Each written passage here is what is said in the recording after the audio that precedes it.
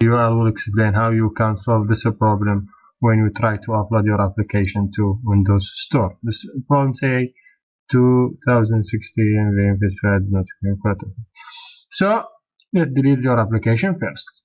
Go to your application. This meaning the problem meaning you did not have put uh, some necessary information that must mandatory information. So let go to your reference, sorry, properties, then go to MVP manifest.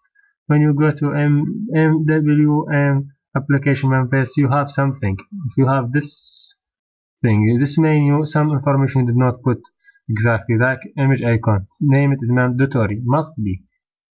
So select name, and he would not put title. Is mandatory. So now for your application. Okay? And try to upload your application again.